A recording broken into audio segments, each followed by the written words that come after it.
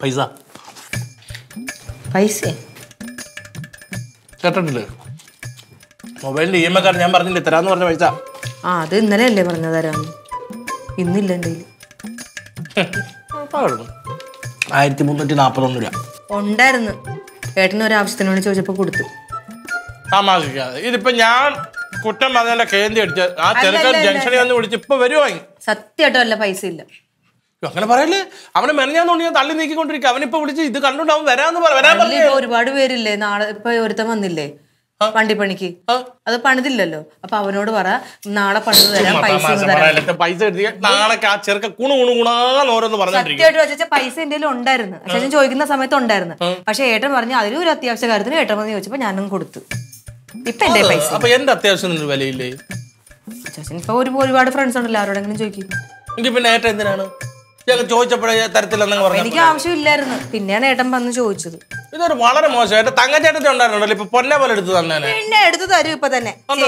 ഇതും കൂടെ കണ്ടിട്ടുണ്ടെങ്കിൽ ഒട്ടും തരത്തില്ലായിരുന്നു. ഒരിക്കലില്ല തരാമെന്ന് പറഞ്ഞിട്ടുണ്ട് ആ പെണ്ണുമ്പോൾ എവിടുന്നാലും കറക്റ്റ് ചെയ്ത് എനിക്ക് തരും. ഇല്ലെങ്കിൽ ഇല്ലെന്ന് പറ അത് ശരിയാണ്. ആ പക്ഷെ എന്റെ ഇല്ല ഇപ്പം. മാറിപ്പോയി. എന്ത്? ഒരുപാട് മാറിപ്പോയി മോളെ. എനിക്കറിയാം സ്കൂളിൽ പോയിച്ച് വരുമാനവും ഗൂഗിൾ പേയും ഒക്കെ വന്നപ്പോൾ തിരിച്ച് മാറിപ്പോയി. പക്ഷെ എന്നോട് ഇത് ചെയ്യാൻ തരാമെന്ന് പറഞ്ഞ് എന്നെ കൊതിപ്പിച്ചിട്ടുണ്ടല്ലോ. ഞാൻ വെറും ആയിരത്തി മുന്നൂറ് രൂപയ്ക്ക് അതിന്റെ മുമ്പ് ചൂളേണ്ട അവസ്ഥ. തട്ടോ ആ. വയറ് നിറഞ്ഞു. ഇല്ലാഞ്ഞിട്ടാ. സത്യം ഇല്ലാഞ്ഞിട്ട്. അങ്ങനെ പോകാനെങ്ങനെ ഇല്ലെന്ന്. അവനോട് എന്തോ പറയും? അണ്ണാ വല്ല എനിക്ക് ബാക്കി കാര്യങ്ങളൊന്നും കേൾക്കണ്ട. എനിക്ക് എനിക്ക് എന്റെ പൈസ കിട്ടിയേ പറ്റൂ. അണ്ണാ ഞാൻ ഒരു ചെറിയൊരു സാവാസന നിങ്ങളുടെ ഒരു ചെറുപ്പക്കാരനല്ലേ ഞാൻ ഞാൻ. ആ ചെറുപ്പക്കാരനായതുകൊണ്ടാണ് നിന്റെ അടുത്ത് ഇത്രയും നാൾ മാന്യമായിട്ട് സംസാരിച്ചത്. ഇനി അങ്ങനെ പറ്റത്തില്ല. ഒരു ഒറ്റ ദിവസം ഉണ്ടെങ്കിലാണോ ഉണ്ടോ? ഞാൻ കറക്റ്റ് ആയിട്ട് ഞാൻ പൈസ ഒരാളുടെ ഒരു ദിവസം കൂടെ തരാം. നാളെ പത്ത് മണിയാകുമ്പോ ഈ വീട്ടുമുറ്റത്ത് ഞാൻ ശരി ഇതിപ്പോ എങ്ങനെയാ വണ്ടി പണി ചെയ്തിട്ട് എപ്പോ കിട്ടും? പണി കഴിഞ്ഞാൽ അപ്പോഴേ ഞാൻ വിളിച്ചു തരാം അത് തീർത്തരാം പക്ഷെ നീ പറഞ്ഞ കംപ്ലൈന്റ് വെച്ച് നോക്കുവാണെങ്കിൽ എങ്ങനെയായാലും ഒരു പണിക്കൂലി ഷാഫ്റ്റ് ആംഗ്ലിയും ചെയ്യണം ഓയിൽ വാങ്ങാനുള്ള ഒരു രണ്ടായിരം രൂപയുടെ പണിയുണ്ട്. പക്ഷെ കുഴപ്പമില്ല. സാട്ടസ് എന്റെ ചങ്കാന്നല്ലോ അവന്റെ കൂട്ടുകാരന് നമ്മുടെ ചങ്കിന്റെ ചങ്ക. ഒരു ആയിരത്തി എഴുന്നൂറ് രൂപയ്ക്ക് പണിക്കൂലി തന്നാൽ മതി. പണിക്കൂലി?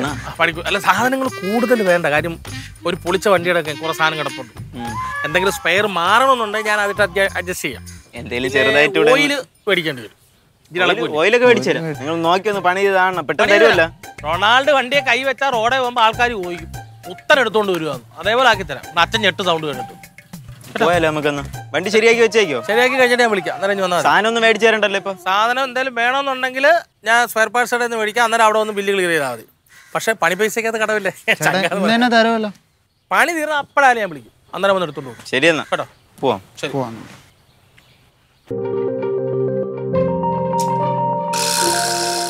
ഓ വലിയ പണക്കാരനായേ. പിന്നെ എന്നും ഇങ്ങനെ ബി പി എൽ കാർഡായിട്ട് ജീവിക്കാൻ പറ്റുമോ ആ അങ്ങനെ പറ്റത്തില്ല. ജീവിതത്തിൽ ഒരു വാശിയൊക്കെ വേണം. നല്ല വാശിയുണ്ട്. ഞാൻ പറഞ്ഞ പോലെ കോടീശ്വരൻ ആവുകയും ചെയ്യും. ആ ഓ അങ്ങനെ വാവിട്ട് ചോദിച്ചിട്ട് പോലും ഒരു പത്ത് രൂപ പോലും തരാൻ ആരും ഇല്ലെന്ന് നമുക്ക് മനസ്സിലായി. ആരും നോക്കി നിൽക്കുവോ? കുറെ സമയമല്ലേ? കറക്റ്റ്. വിളിച്ചിട്ട് ഫോൺ എടുത്തില്ല. നോക്കട്ടെ പൈസ നോക്കട്ടെ. എന്ത് പൈസ നോക്കാൻ? നോക്കട്ടെ എനിക്ക് വേണ്ട പൈസ. കള്ളനോട്ടൊന്നും അല്ല ഒറിജിനൽ കഷ്ടപ്പെട്ട ആ, പൈസ തന്നെ. നോക്കട്ടെ നോക്കട്ടെ. ഉണ്ട്. അതെന്തിന്? നോക്കട്ടെ മൊത്തം ഉണ്ടോ? ആ കറക്റ്റ് ആയി കൊടുക്കാനുള്ള പൈസ ഉണ്ട്. ആയിരത്തി? ഒന്നൂറ്റി നാപ്പത്തൊന്ന് ആ എന്നാ ശരി. എനിക്കറിയാം അയാളെ. ഞാനൊരു മിക്സി എടുത്തിട്ടുണ്ടായിരുന്നു. അതിന്റെ കളക്ഷൻ അയാളെ ഇവിടെ വന്നോണ്ടിരുന്നത്. അയാളുടെ ഫോൺ നമ്പർ തപ്പിയെടുത്ത് ഞാൻ വിളിച്ച് ഏട്ടനെ കൊണ്ട് അടപ്പിച്ച് ഇന്നലെ തന്നെ. ആയിരത്തി മുന്നൂറ്റി നാപ്പത്തി ഒന്ന് രൂപ. ഇന്നലെ ഇന്നലെ വൈകിട്ട്. ഓടാ അതാവും ഫോൺ എടുക്കാത്ത. പിന്നെ എന്റെ ചേച്ചനെ വല്ലവരും വന്ന് തെറി വിളിച്ചാൽ ഞാൻ സമ്മതിക്കൂ എന്റെ മുത്താണ് ലില്ലിപ്പണ്ട് എന്താണ് ഇന്ന് ഇന്നലെ എത്ര എന്നെ ഇട്ട് വേവലാതിപ്പെടുത്തി അതെ അതെ അതെ. കുറച്ച് കുറച്ച് കഷ്ടപ്പെടണം. കേട്ടല്ലോ? ആരും കയ്യിലോട്ടൊന്നും കൊണ്ടുവച്ച് തരത്തൊന്നും ഇല്ല ഇന്നലെ നിങ്ങളിട്ട പൈസ കീറ് കൃത്യമായിട്ട് ഇന്ന് ഞാൻ തന്നെ. പക്ക ഏർപ്പാടാണ് പക്ക. അങ്ങനെയാണ്. രണ്ടു ദിവസം കഴിഞ്ഞാൽ ലില്ലിപ്പണ്ണേ വില്ലല്ല. പോടുന്നു ഇനി ആയിരം രൂപ വേണമെങ്കിൽ ആയിരം രൂപ പണിയെടുക്കും. പോ. ലില്ലിപ്പണ്ണ ഇനി പണി വന്നാലേ ഉള്ളു. ആ പണി വരട്ടെ. പാവം. അല്ല ഞാൻ നാണം കടായിരിക്കാൻ വേണ്ടിയല്ല കൊണ്ട് അടച്ച്. സന്തോഷം കണ്ട് കണ്ണെന്ന് നിറയുന്നില്ലല്ലോ.